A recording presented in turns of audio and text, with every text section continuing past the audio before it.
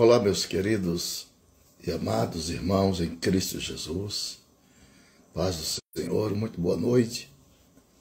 Já faz alguns dias que eu entro aqui nas minhas redes sociais, mas hoje senti da parte de Deus e a minha justificativa são as viagens sequentes e o estado de cansaço que tem me impedido de fazer mais live como os irmãos merecem e gostam também de nos acompanhar em nossas redes sociais. Desde já deixo aqui meus agradecimentos a todos que já estão conosco. Temos aqui já vários companheiros, amigos, pastores, servos de Deus, mulheres de Deus que somam conosco nesta noite, né? Na nossa live aqui por nossa rede social. Glória a Deus. Isto é maravilhoso, maravilhoso. Maravilhoso. Glória a Deus. E aí nós estamos interessados que todos sejam agraciados com a bênção de Deus e que a palavra de Deus tenha um livre curso na nossa vida para nos fortalecer. Ah, este fortalecimento nos traz segurança, nos traz estabilidade na fé, tendo em vista os momentos difíceis que todos nós estamos vivendo, né? Dado a avalanche dos sinais que estão acontecendo no mundo e as pessoas estão cada dia mais. Deixa eu ligar mais esta lâmpada aqui, só um pouquinho. Dê licença aí. Oh, devia ter feito isso antes ter feito antes. Pronto. Desculpe, irmão, desculpe. Devia ter feito antes. Liguei mais uma lâmpada para ficar mais. dar mais luz aqui para nossa live, né? Agora melhorou. E eu gostaria de repartir com vocês nesta noite um bate-papo, uma conversa excentricamente bíblica relacionada com a escatologia, né? que é o estudo das últimas coisas. Tendo em vista que esse assunto torna-se cada dia mais pertinente, dado esta avalanche de sinais que acontecem em nosso planeta demonstrando enfaticamente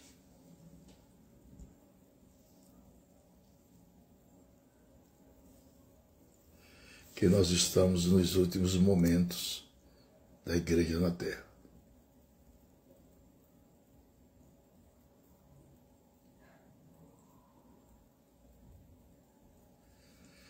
Glória a Deus. A nossa fé ela deve estar sempre preservada, a despeito de circunstâncias, a despeito de qualquer outra coisa que venha querer sucumbir às nossas convicções bíblicas, devemos sempre protegê-la, sempre protegê-la. Se nós temos convicções de nossa salvação, então precisamos protegê-la, nossa salvação. Porque estamos numa época de muitas vozes, que se ouve muitas vozes no mundo. E precisamos discernir qual é a voz do Senhor. E esta voz, ela deve ser entendida na proporção que nós vamos nos aproximando de Deus, mantendo um relacionamento mais íntimo com o Senhor. Aí temos condições de discernir a voz do Senhor da voz dos homens. E todos sabem que escatologia é uma matéria extraordinária. E é com base nessas, nessas expressões que o termo escatologia, eu gostaria que você tomasse uma caneta e fosse anotando tudo que eu falar. Eu quero ensinar a você algumas coisas né, pertinentes a este assunto que eu acho da mais alta relevância. Então, a Bíblia Sagrada ela usa algumas expressões para disseminar a realidade da escatologia. Ela usa a expressão últimos dias. Isto tem coerência com o livro do profeta Isaías, capítulo 2 e verso 2. Também temos um texto de Miqueias 4 e 1. A Bíblia Sagrada ela usa essa expressão últimos tempos relaciona-se também com a escatologia. 1 Pedro capítulo 1, verso 20. E também tem a outra expressão que relaciona-se bem com a escatologia, chamada de última hora. 1 João capítulo 2, versículo 18. Então nós temos últimos dias, últimos tempos e última hora. São três expressões bíblicas que apontam direcionalmente para o fim dos tempos, a escatologia bíblica, as coisas relacionadas com o futuro. E é com base nessas expressões que o termo escatologia ele foi tomado ele foi tomado para designar o estudo dos acontecimentos finais do plano de Deus para este mundo, para este mundo.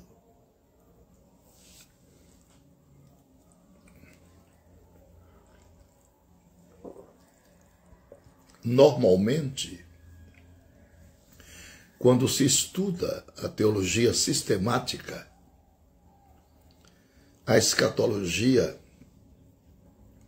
ela surge sempre como último capítulo da matéria em pauta. Porque a escatologia ela não dedica-se apenas ao estudo dos últimos acontecimentos.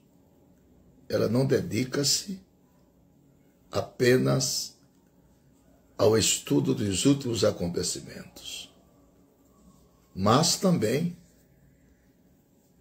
aos fatos que se relaciona com o destino do homem, como sejam a morte física, o estado intermediário, isto é, o que ocorre entre a morte e a ressurreição, e ainda aqueles eventos que estão além da história, como a existência na eternidade. Então a escatologia ela gravita em torno destas áreas muito interessantes e de uma sublimidade gloriosa, santa e bendita. Então, se você quiser aprender, fique conosco. Se tem interesse na matéria, fique conosco. Porque aí eu vou te passar algumas dicas muito importantes para que Deus tenha a oportunidade de abrir o entendimento para compreendermos melhor esta matéria tão especial, tão urgente, tão necessária para os momentos em que nós vivemos. A questão das últimas coisas relativas e relacionadas também ao destino do homem, ela tem ocupado lugar não somente na filosofia, como nas religiões pagãs.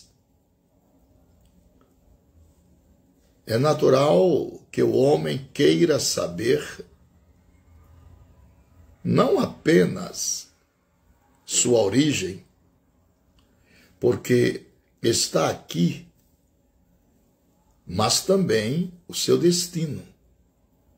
Mas também o seu destino. E nós temos aqui uma pleiade de filósofos, como Platão, como Sócrates, que falaram sobre a imortalidade da alma.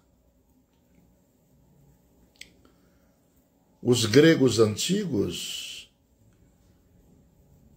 eles criam que os mortos iam para uma ilha chamada Ilha dos Bem-aventurados. Os romanos acreditavam que a outra vida era um espelho desta. O budismo tem como alvo maior o estágio final, chamado de nirvana. O maometismo tem como final seu paraíso sensual.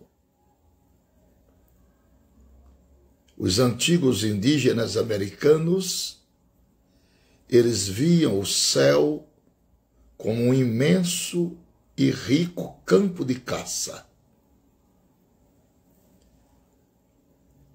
Meus queridos irmãos, porque nesses últimos anos a escatologia não tem sido apreciada como se deveria? É uma pergunta.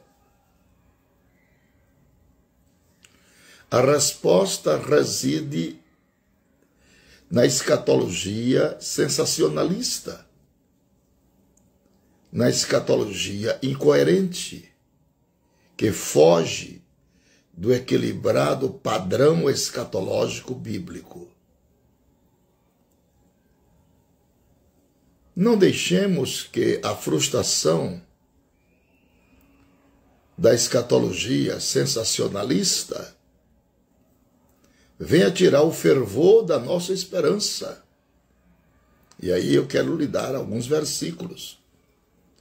Se não vejamos Romanos capítulo 5, verso 5, capítulo 8, versos 24 e 25, capítulo 12, verso 1, e 1 Pedro capítulo 1, versículo 3. Então, meus irmãos, essa escatologia sensacionalista tem tirado o apetite de muita gente querer entender com mais afinco esta matéria chamada de escatologia bíblica, que fala de coisas interessantes, importantíssimas, indispensável à nossa cultura bíblica. Por exemplo, nos textos bíblicos de Gênesis 3,19 e Eclesiastes 12,7, fala a respeito da morte que é o oposto da vida. E o que é a vida? A Bíblia diz em Gênesis 47, 9, Salmo 89, verso 47, Salmos 90, verso 9 e 10, que a vida é breve. A vida é breve, é muito rápida. É como um sonho. Quando você acorda, já está às portas da velhice. A Bíblia também diz que a vida é como uma sombra. A vida é como uma sombra. Conforme 1 Crônicas, capítulo 29 e versículo 15.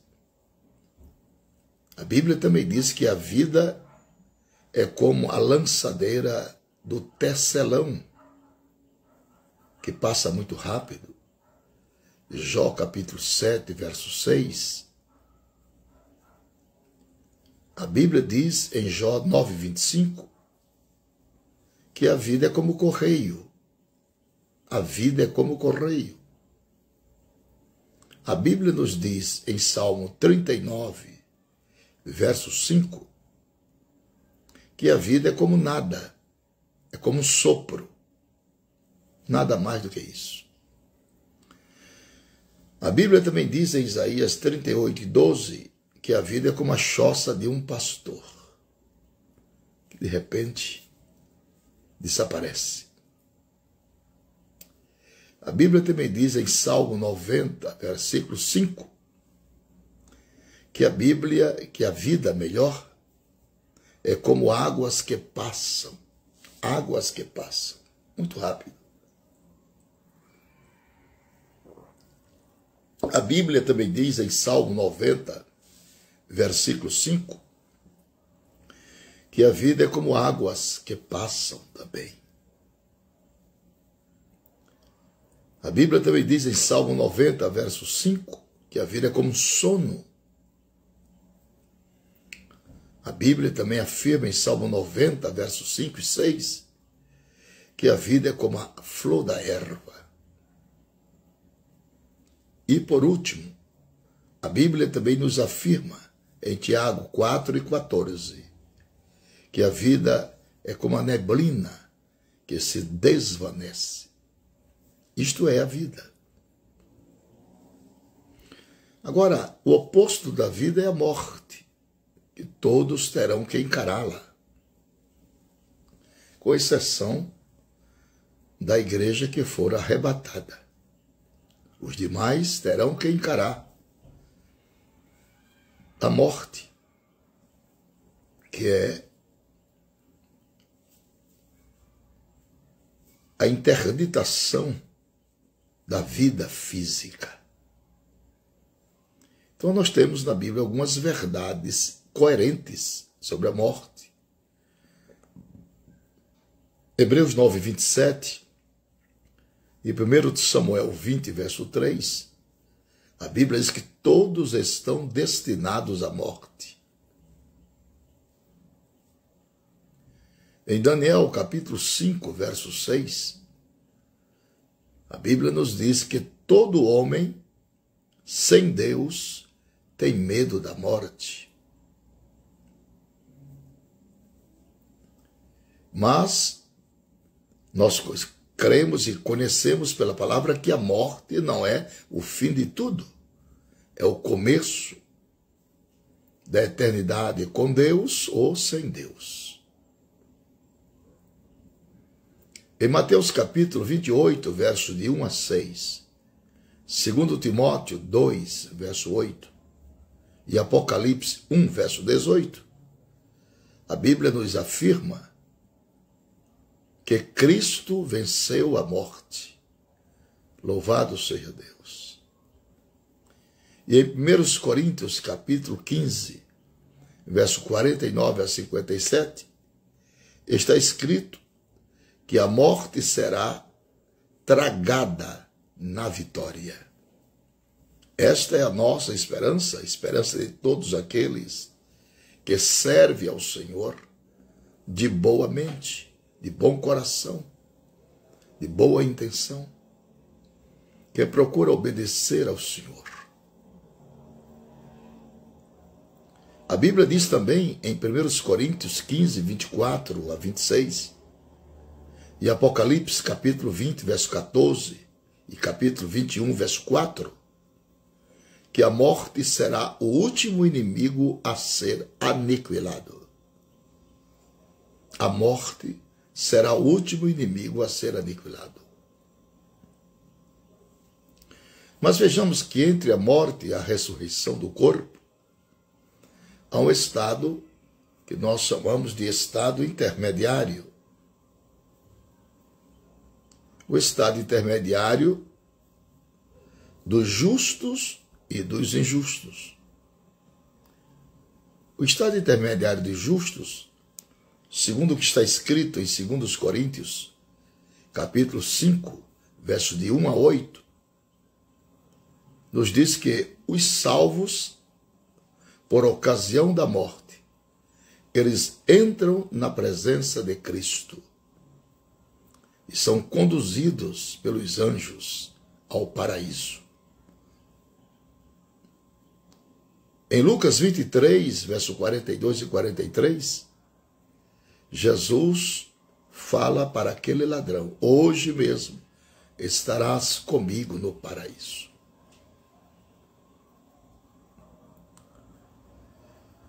Então eu quero dizer para os irmãos que o estado do salvo em Cristo, imediatamente após a morte, é muitíssimo, muitíssimo mais preferível que a vida no corpo neste mundo presente. E isto é o que está escrito em Filipenses capítulo 1, verso 21 até o verso 23. Paulo se expressa de maneira muito categórica. Para mim, o viver é Cristo e o morrer é ganho. A Bíblia também nos diz em Mateus capítulo 22, verso 32, e Lucas 16 e 22, que os santos que partiram, eles estão vivos e conscientes. Isso é o que a Bíblia nos ensina. Mateus 22, 32 Lucas 16, 22 mostra essas duas passagens, afirmando com muita precisão que os santos que partiram estão vivos e conscientes. Poderia também dar para vocês 1 Tessalonicenses, capítulo 5, verso 10, Apocalipse, capítulo 6, e versículo de 9 a 11. Isso mostra-nos a evidência real da eternidade. Os santos que partiram, segundo Apocalipse capítulo 14, verso 13, os santos que partiram estão em estado de descanso e bem-aventuranças eterna. Isso é o que a Bíblia nos mostra. Então devemos ficarmos tranquilos conscientes de que todos os santos que partiram para Deus estão no estado de descanso e de prazer. Bem-aventurança é felicidade, é alegria, é prazer, é radiância. Porém, nesse estado intermediário, eles estão incompletos porque falta-lhes ressurgir os seus respectivos corpos. Agora também a Bíblia nos mostra, nos aponta, o estado intermediário dos mortos ímpios, daquelas pessoas que em tempo óbvio, oportuno não constituíram Jesus Cristo como Salvador e Senhor de suas vidas. Essas pessoas, na eternidade, receberão um libelo de condenação. O que não é o prazer de Deus. Jesus não veio para condenar, veio para salvar. E a condenação é esta, disse João, que a luz veio ao mundo e os homens Amaram mais as trevas do que a luz, que as suas obras são más. Essa é a grande verdade.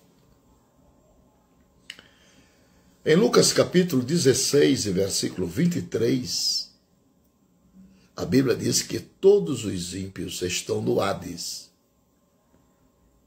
esperando a ressurreição do corpo, chamado por Daniel 12, 2, corpo da vergonha e do nojo eterno. Corpo da vergonha e do nojo eterno.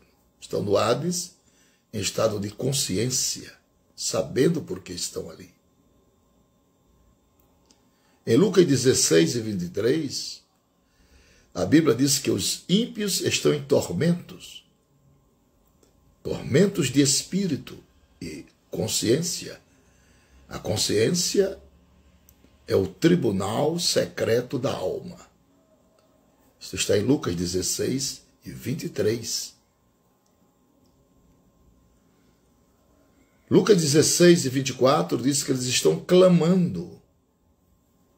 Um momento de muita perplexidade, de agonia, desespero, dor, culpabilidade. Pessoas que tiveram oportunidade de serem salvos mas procrastinaram a sua salvação. Em Lucas 16 e 24, fala que eles estão em plena consciência. E em Lucas 16 e 24, novamente, diz que eles estão em grande aflição de espírito.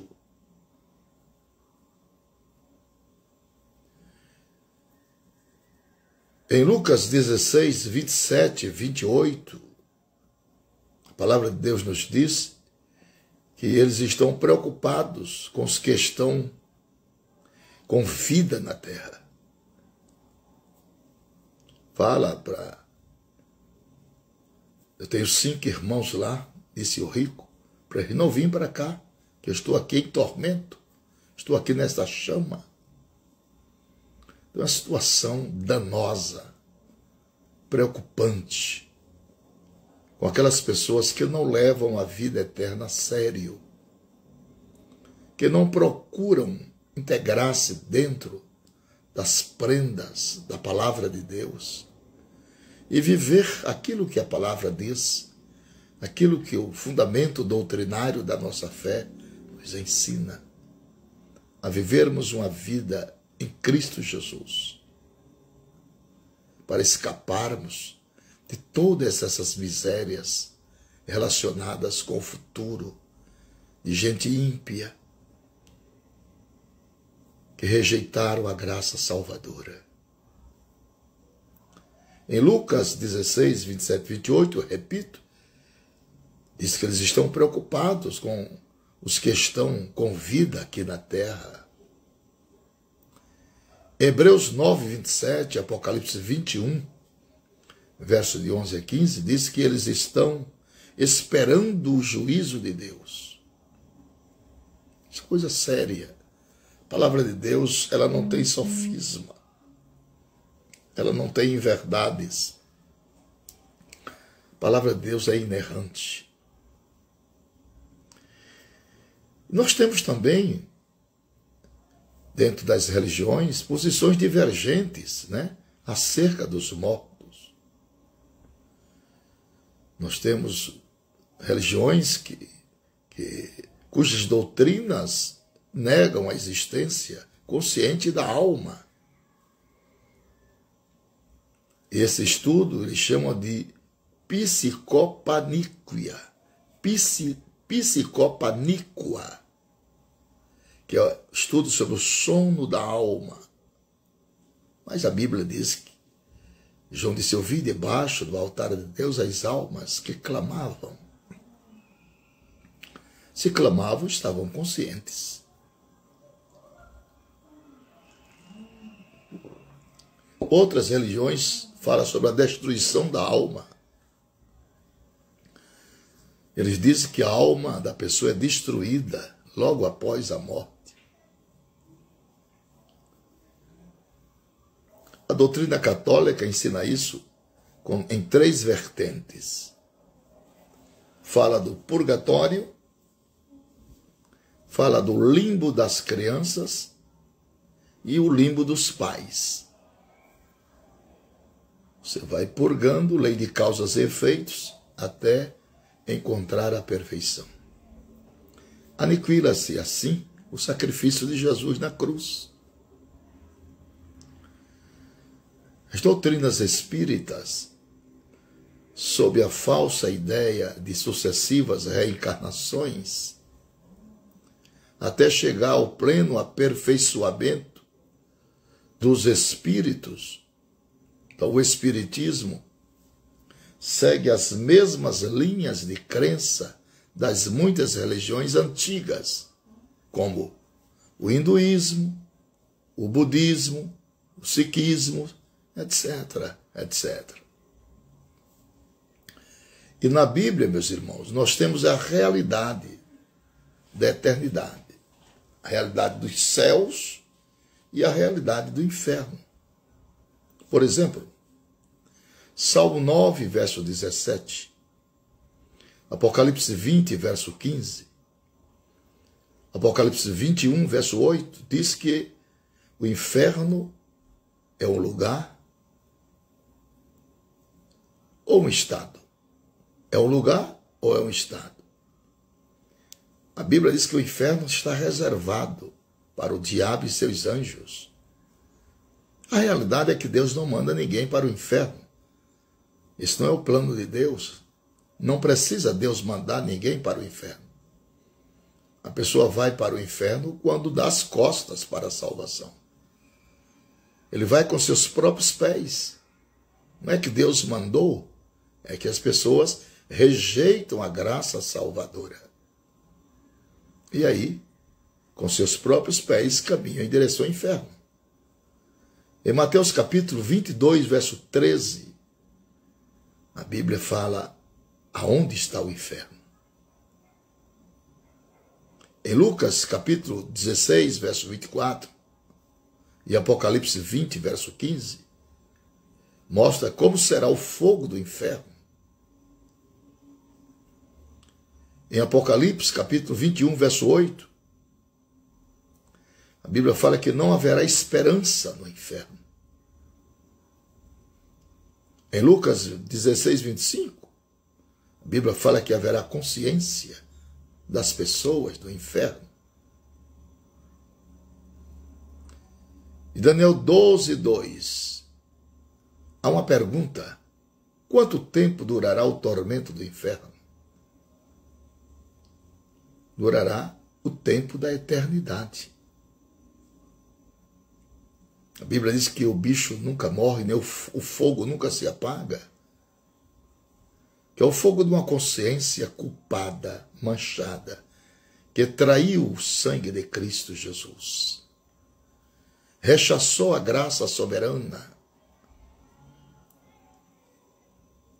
Desvencilhou o plano de Deus com seu egoísmo e deu as costas para a salvação.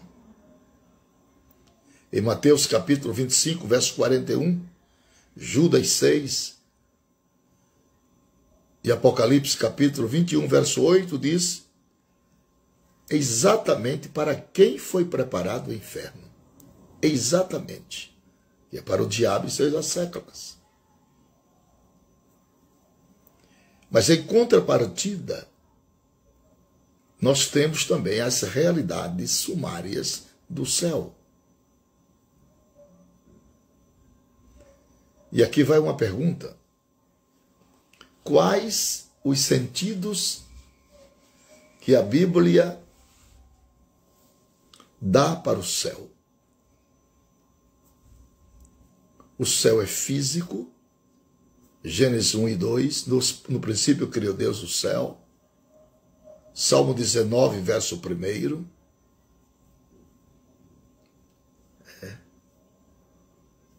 Então, tudo isso são expressões proféticas tangíveis dentro das Escrituras que mostram a realidade do céu. O céu é sinônimo de Deus e de sua santidade.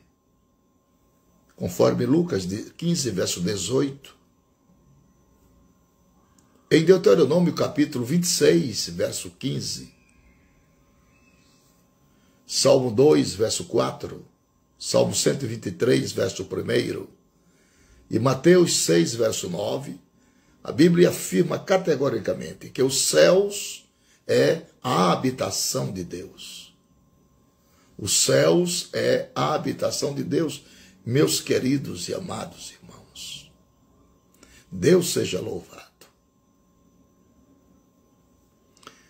Agora vai uma pergunta para todos nós. Existe pluralidade no céu? Existem céus plurais? Há pluralidade de céus? Gênesis 1 e 1 fala dos céus. Neemias 9, verso 6, fala do céu dos céus. E 2 Coríntios 12, verso 2. Se o Brasil tem uma capital, a capital do Brasil é Brasília, a capital do céu é céu dos céus, onde está a pompa angelical, a maestria eterna. Existe o céu atmosférico, o céu estelar e o céu dos céus, onde está a habitação do Senhor, a casa do Pai, para onde a igreja vai morar eternamente.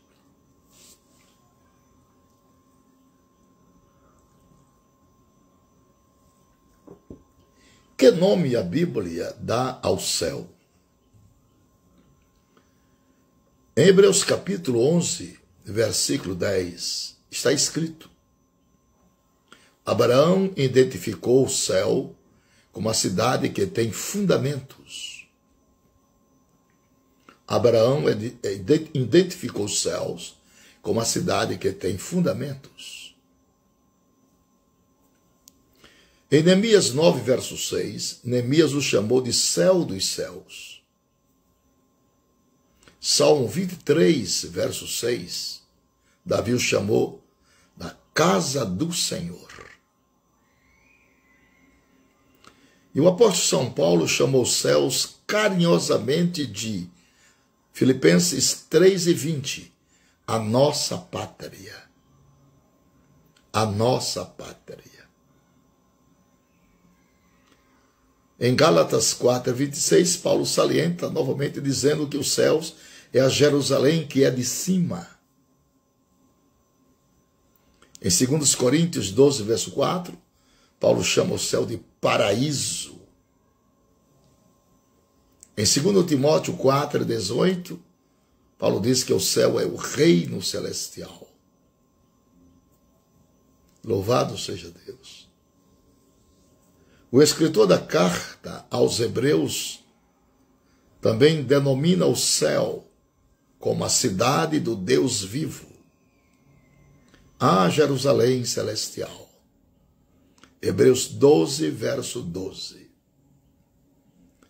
E Hebreus 12, 28 diz que o reino que não pode ser abalado. Os céus é o reino que não pode jamais ser abalado. Em Hebreus capítulo 13, versículo 14, o escritor do Hebreus diz que os céus é a cidade futura. E o apóstolo João descreve o céu como sendo, em Apocalipse 13, 3, verso 12, João diz que os céus é a cidade do meu Deus. Em Apocalipse capítulo 21, verso 2, João diz que os céus é chamado de a santa cidade. Em Apocalipse 21, verso 2, novamente, ele chama o céu de a Nova Jerusalém.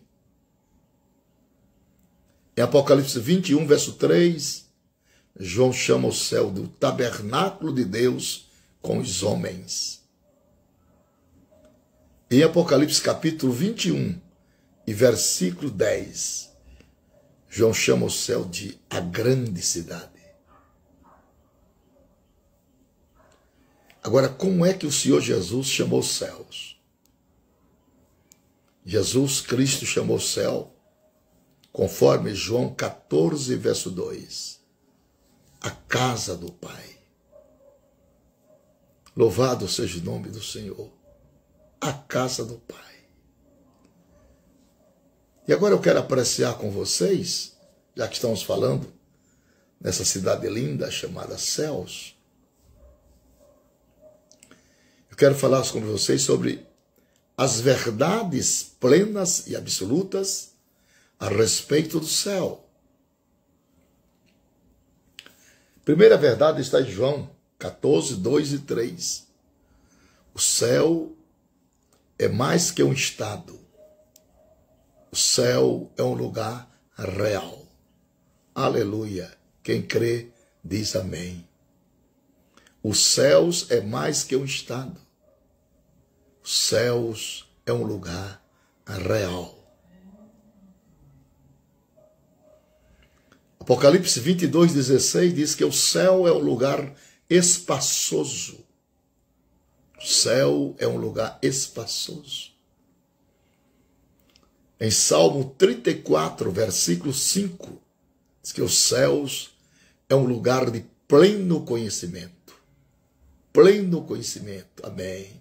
Glória a Deus.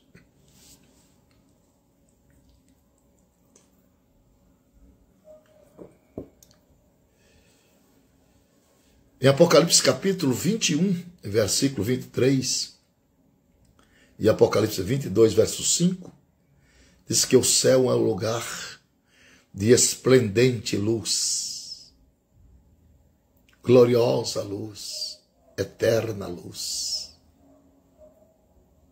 Aleluia. Apocalipse 21, 27. Diz que os céus é um lugar de santidade, absoluta santidade. Apocalipse 21, verso 4. Diz que o céu é um lugar de consolo eterno.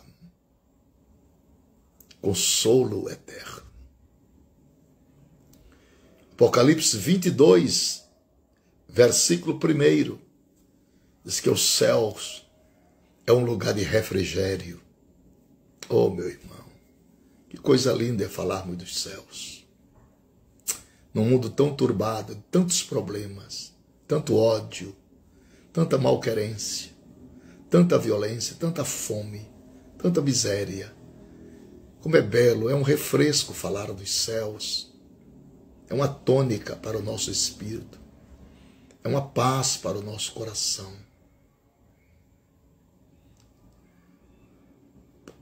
Apocalipse capítulo 22, verso 3, diz que os céus é um lugar de contínuo serviço a Deus.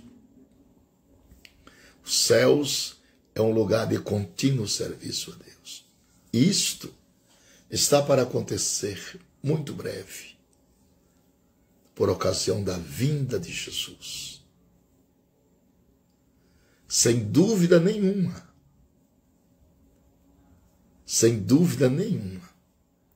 O evento central das Escrituras é a escatologia bíblica, é a vinda de Cristo.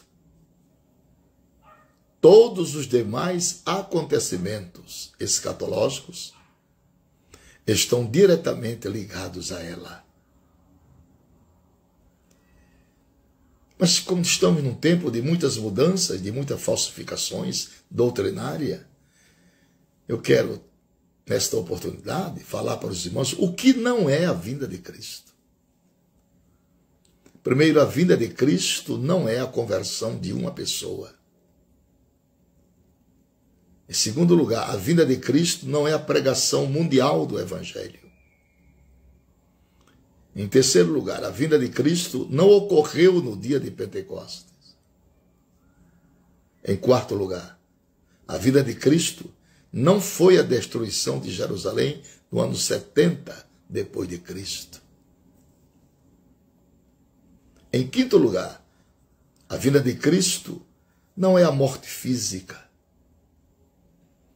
mas o que é mesmo a vinda de Cristo. A vinda de Cristo é uma profecia bíblica. A vinda de Cristo é uma promessa bíblica. Em terceiro lugar, a vinda de Cristo é uma esperança bíblica, uma profecia, uma promessa e uma esperança. Agora nós temos que entender também a natureza da sua vinda. Em 1 Tessalonicenses 4,16, diz que Jesus virá pessoalmente. Em Apocalipse 3, 11, 22, 7, diz que Jesus virá brevemente. Em 1 Tessalonicenses 4,16, afirma-se que Jesus virá gloriosamente. Em 1 Coríntios 15, 52, mostra-nos que Jesus virá repentinamente. Em Mateus capítulo 24, verso 27, diz que Jesus virá como relâmpagos. O relâmpago ele só aparece quando há nuvens escuras. O relâmpago, ele causa espanto, e não somente espanto, mas pavor. O relâmpago nos dá lição da surpresa. O relâmpago nos fala da rapidez da sua vinda. O relâmpago nos fala de grande poder. O relâmpago, o relâmpago nos fala de resplendor e também de beleza. Mas a Bíblia não afirma apenas que Jesus virá como relâmpago. A Bíblia também mostra-nos que ele virá como um ladrão de noite, conforme Mateus 24 versículo 42 a 44. Que lição preciosa vamos aprender agora sobre o ladrão de noite? Vamos aprender essas preciosas lições. Primeiro, o ladrão vem quando ninguém o espera. O ladrão vem quando ninguém o espera. Em segundo lugar, o ladrão age sem que ele seja observado. Terceiro, o ladrão age com muita rapidez. Quarto, o ladrão só leva as coisas de valor. O ladrão só leva as coisas de valor. Quinto lugar, o ladrão vem buscar as coisas que não é dele, mas Jesus vem buscar o que é dele, a sua igreja. O ladrão sempre deixa algo. É o caso da parábola das dez virgens sempre ficará alguém. O ladrão, em alguns casos, deixa a casa em desordem. É isto que vai acontecer. Após o arrebatamento da igreja, o mundo ficará em plena desordem. Regido pela trindade maligna, o anticristo, a besta e o falso profeta, Depois que o ladrão sai da casa que ele roubou, os donos da mesma sentem falta do que foi levado. Assim será no arrebatamento. Os que ficarem sentirão falta daqueles que subiram. Esta é a essência da pregação e do ensino da escatologia bíblica. Nós precisamos também conhecer os termos principais para referir-se à segunda vinda de Cristo no Novo Testamento. temos um termo chamado epifaneia. Epifaneia é uma palavra usada para designar o aparecimento de Deus para socorrer seu povo. Nós encontramos essas expressões dentro da Bíblia. Tito capítulo 2, verso 13 e 2 Timóteo 4, verso 8.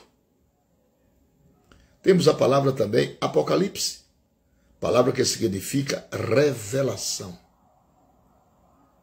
1 Coríntios 1 e 7, 2 Tessalonicenses 1, 7 também. Depois nós temos a palavra parousia, palavra que significa presença, que significa chegada, conforme Mateus 24, 3 e 1 Tessalonicenses capítulo 2 e versículo 19. Temos que entender o tempo da segunda vinda de Cristo. Em Mateus capítulo 24, versículo 36 a 39, nos informa que o tempo da vinda de Jesus é desconhecido. Em segundo lugar, nós estamos vendo os sinais que fazem compreender a todos nós que o tempo está próximo. E quais seriam, no caso, a função dos sinais? Em primeiro lugar, os sinais servem para alimentar a nossa esperança. Os sinais servem para alimentar a nossa esperança. Em segundo lugar, os sinais nos indicam a proximidade, que ele está chegando. Em terceiro lugar, os sinais nos previne contra os enganos doutrinários, dessa miscelânea doutrinária que nós estamos ouvindo nesses dias finais. E em último lugar, os sinais nos incentivam a trabalharmos com mais afinco para a grandeza do reino de Deus.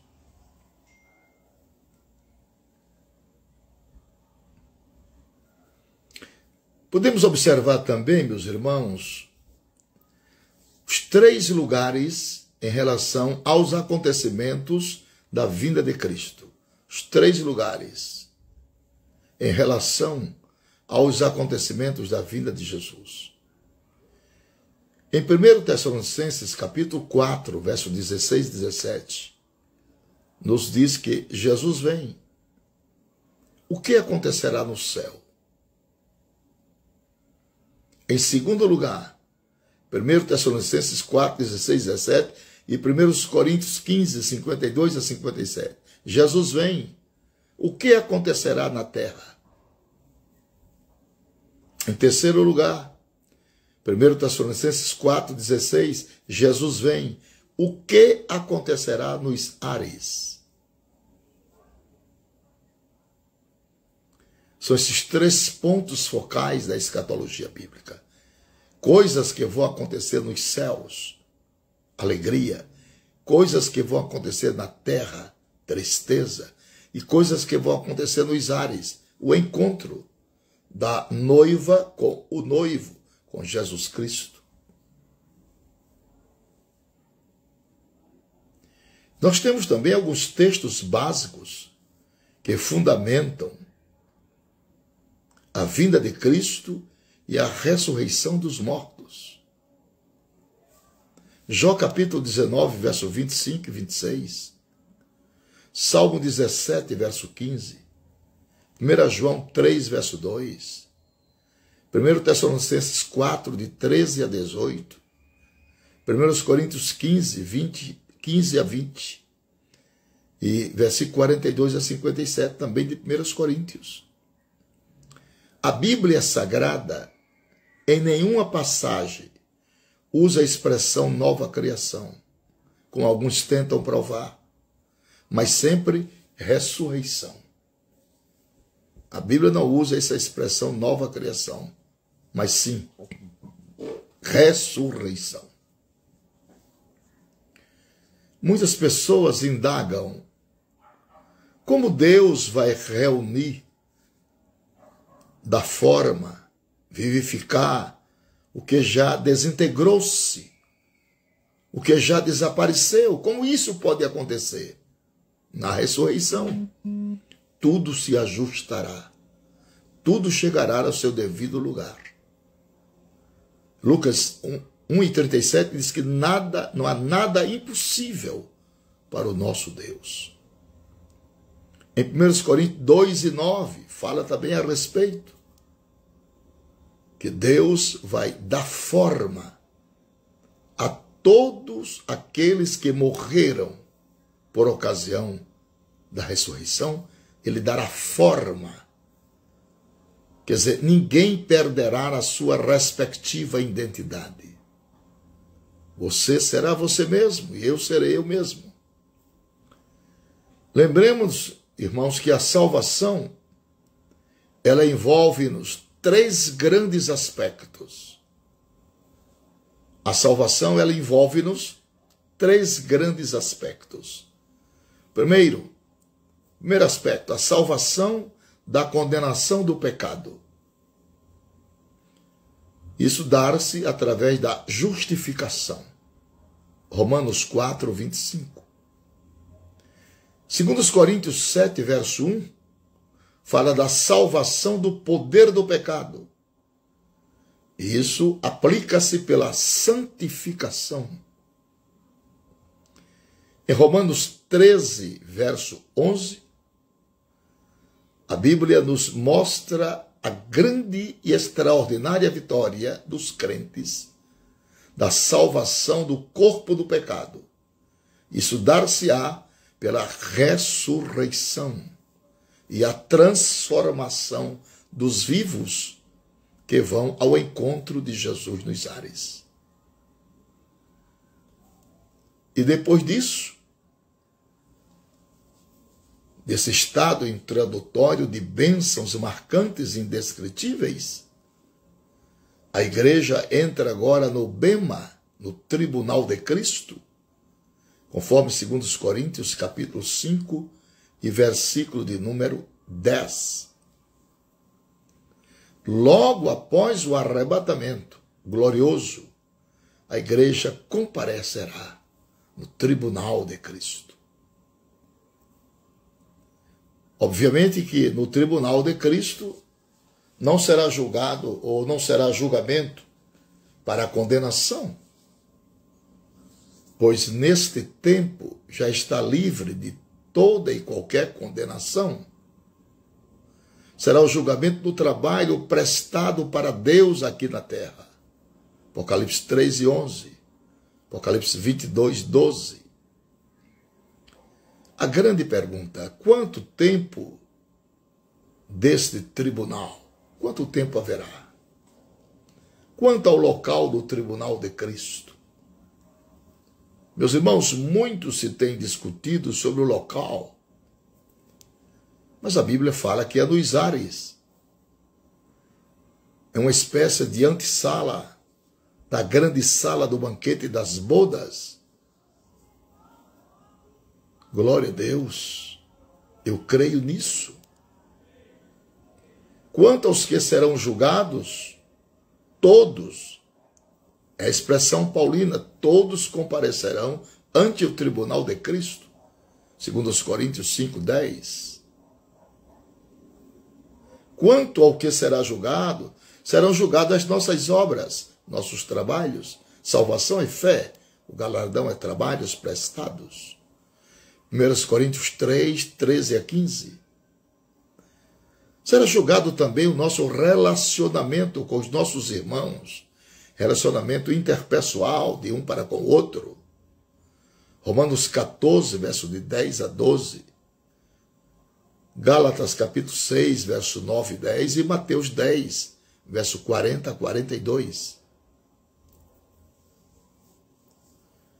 Quanto ao instrumento de prova do julgamento do tribunal, 1 Coríntios 3, de 13 ao verso 15, afirma que o fogo divino, fogo da justiça divina, julgará os nossos trabalhos.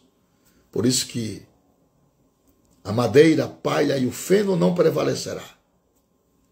Só prevalecerá no tribunal ouro, prata e pedras preciosas, divindade, resgate e dons. Hebreus capítulo 12, verso 29 diz que Deus é um fogo consumidor. Apocalipse 1, verso 14, a Bíblia nos afirma que Jesus tem olhos como chamas de fogo. Em Jeremias 23, 29, diz que a palavra de Deus é um fogo poderoso. Em Apocalipse, capítulo de número 23, desculpe, Apocalipse capítulo 5, verso 4, diz que o Espírito Santo atua como fogo. E quanto aos galardões, Apocalipse 2 e 10, fala da coroa da vida. 1 Coríntios 9, 24 e 25, fala da coroa incorruptível. 1 Pedro, capítulo 5, verso 4, fala da coroa de glória. 2 Timóteo, capítulo 4, verso 8, fala da coroa da justiça. E Apocalipse 2 e 7 fala de mais recompensas que os crentes salvos terão neste grande dia. E o maior de todos os galardões é o próprio Senhor. Ele é o nosso maior galardão. E ele próprio nos entregará o galardão, quer dizer, ninguém pode passar a procuração, está escrito, o galardão está comigo, para dar a cada um segundo o seu trabalho. É o próprio Senhor quem vai entregar os galardões. Apocalipse 22, 12 Isaías 40, verso 10. E logo após o tribunal de Cristo, segue-se o que está escrito em Apocalipse 19, versos 7 a 9. Após o tribunal de Cristo, desfrutaremos todos nós das bodas com nosso amado noivo Jesus Cristo. Existe uma grande expectativa no céu para essa festa. Primeiro, a expectativa do Pai, Mateus capítulo 22. Segundo, a expectativa do Filho, João 14, verso de 1 a 3.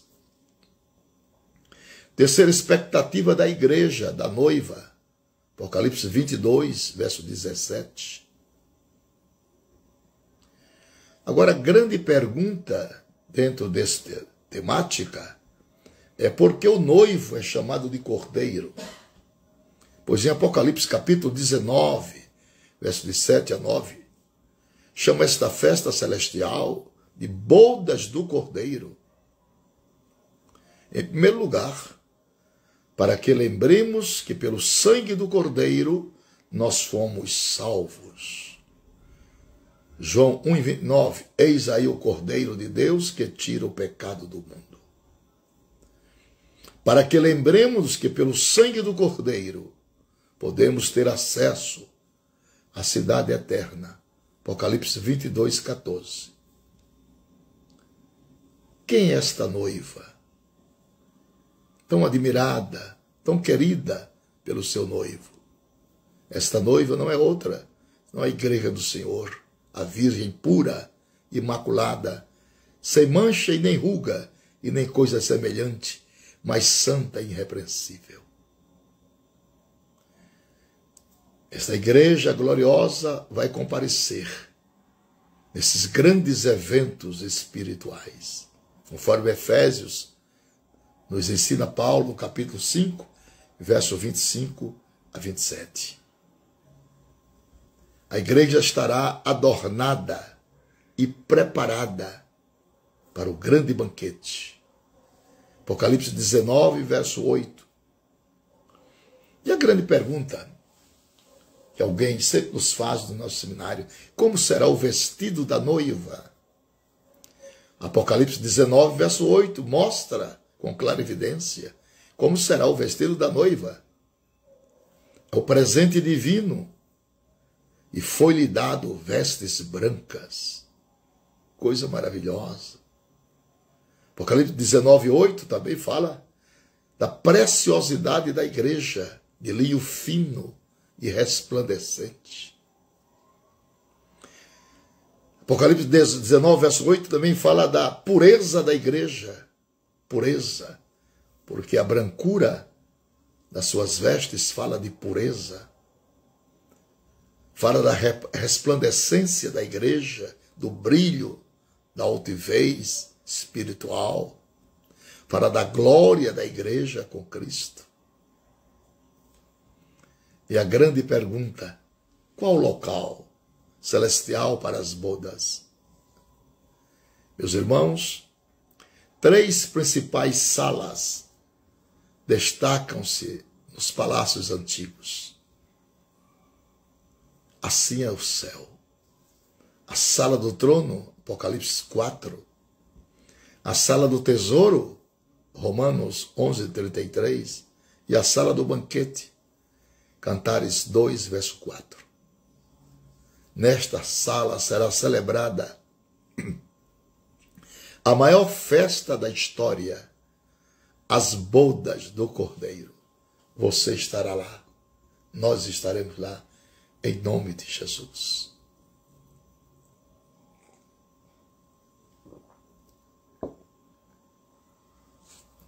Quem são os convidados para as bodas?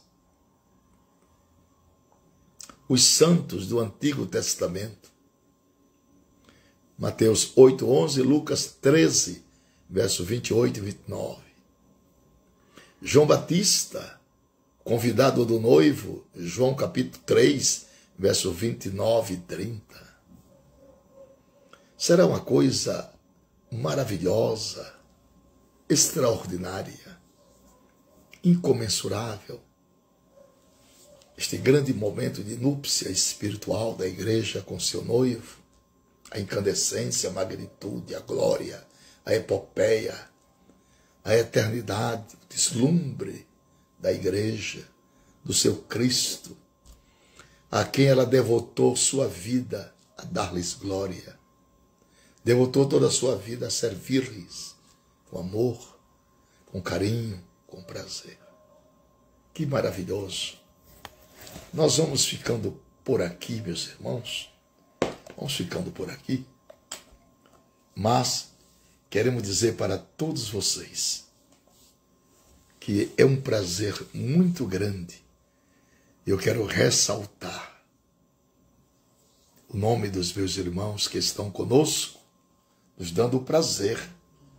São 200 irmãos, 204 pessoas nos dando a felicidade, eu quero, com gratidão, ressaltar umas Marques. Deus abençoe. Elaine, Deus abençoe. Muito obrigado. É, Zizi Marques, já falei. Rodrigo Silva, vou orar pelo seu ministério. Amém. Moisaías Ferreira, glória a Deus. Sei que vocês estão felizes. Fábio Silva, é, muitas bênçãos. Muito obrigado pela vossa presença. Muito edificante, disse Isaías. Paulo Mauro Ferreira. Acabei de chegar, meu Pai. Deus abençoe grandissimamente, filho. Que as bênçãos de Deus se manifestem cada dia na sua vida e na família. Aqui, maravilhoso, Frederic City, maravilhoso, Ivone, Aleluia, Patrício. Continue com as lives. Sim, irmão, muito obrigado. Benedito, Flávio, Charmosa, Washington, Servo. Rodrigo Silva, Deus abençoe. Muito obrigado. Aprendo muito, muito obrigado. Que lindo, eu fico feliz muito feliz. Cida, Josimar, Farias, Deus abençoe. Evaldo, Toscano, Daniel, Deus abençoe, que maravilha. Compartilhe esta live para seus amigos. Quem mais? Pedro. Os livros de escatologia, temos dois aqui. Dois livros de escatologia e um de sermão. Mestre gerações, muito respeito. Obrigado, pastor Evandro Carlos. Evandro, você está melhor, né? Temos orado pela sua saúde, meu filho. Temos certeza que Deus tem ouvido os nossos rogos. Valdirene, Evilene, Evandro. Obrigado, pastor Evandro. Muito obrigado. Glória a Deus. Jaqueline, Ivaldo, Antônio Silvestre, São Miguel dos Campos, Alagoas, Miriam, Tony e Amanda, Vânia, Cabelos e Reforma tal. Eita, Pastor Evandro, graças a Deus, melhorando a cada dia. Amém.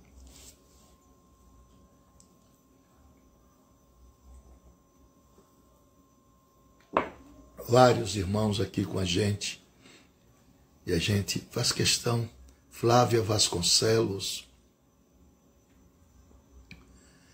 aqui ela está dizendo, Maga Ramos está dizendo, me conheceu em Rolim de Moura. Temos Simão de Pilar, Paraíba, São Paulo, Helena, Daniel, Gabriel. Deus abençoe. Essa live ficará salva para vocês assistirem. Minas Gerais. Glória a Deus. Esdra. Imperatriz do Maranhão. Glória a Jesus. Lucélia Barro, Marcel Alagoas. Amém.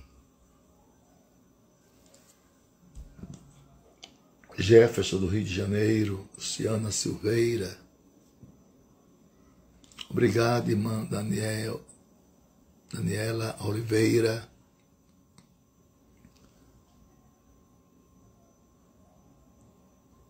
Glória a Deus. Pastor José Vicente Marabá. Pastor Vicente, um beijo para você, para Raquel. Vocês são um casal maravilhoso faz um pastorado de excelência. Deus continue abençoando os vossos ministérios. Eita, Eliana Fernandes, Ceará. Abraão, da Adeguará. Estava sentindo falta desses ensinamentos. Obrigado. Saudade, amigo. Obrigado, Pastor José. Um beijo no seu coração e Ana Cristina Vitória, Antônio Filho, Pai do Senhor, Crateus, passei em Crateus um dia desse, Henrique Araújo, Maranhão, Vander, Tio Louro, Belém, Ei, Tio Louro, Deus abençoe vocês, Sumaia, vocês são joias, pessoas maravilhosas. Deus continue abençoando. Manuel. Eita, Adailton Chaves. El Lene, evangelista. Evangelista Paulo Santos. José de Pernambuco. Flávia Maria. Camutanga. Sou aluno da Academia de Pregadores. Deus abençoe a todos vocês. Eu agora vamos fazer uma oração, nós encerrar a nossa live, agradecendo aos irmãos que sempre estão conosco, nos dando o prazer e a felicidade.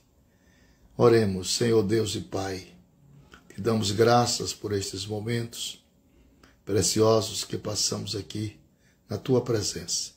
Continua conosco, nos abençoa, abençoa teus filhos de todas as partes do nosso país e do mundo que estiveram conosco em nossa live mais uma vez esta noite.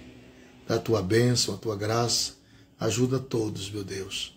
Resolve as causas, os problemas, as dificuldades, salvando as vidas das famílias e assim fazendo prosperar o teu povo. Guarda, dá-nos uma noite de paz, um sono tranquilo, um descanso para enfrentar o dia de amanhã. Deus verdadeiro nos ajuda, somos gratos por tudo, no preciosíssimo nome do Senhor Jesus. Amém.